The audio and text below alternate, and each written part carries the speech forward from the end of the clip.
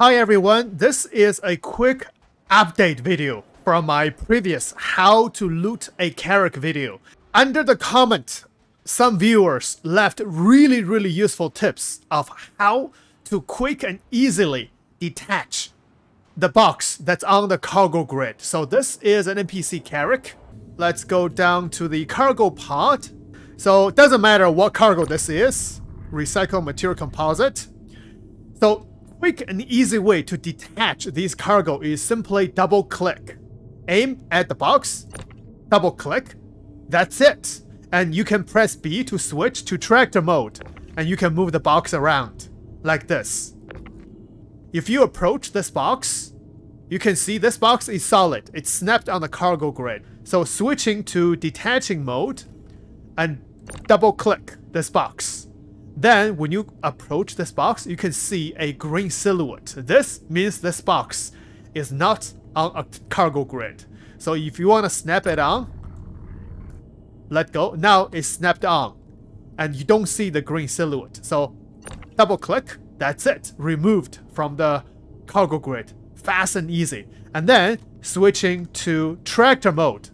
You can move the box around without snapping to anything. So that's how easy it is. And let's remove all these boxes. Switching to detaching mode, double click.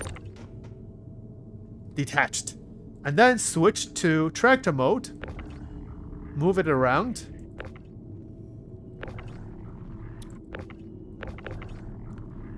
But honestly, we really need a change for the cargo pods. This is horrible. How can anyone work in here? Especially you have this lift right here. You see it's already glitched with the box. Okay, switching to detaching mode. Aim at uh, the other box. Double click. There we go. Detached. Okay, double click. Done. Inside that one. Double click. Done. Double click. Done. That fast. Alright, destroy the ship. Oh! Look at that!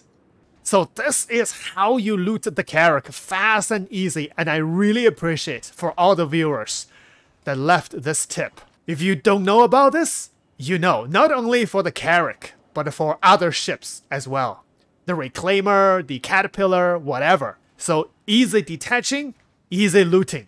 Happy hunting guys! I will see you in the next one.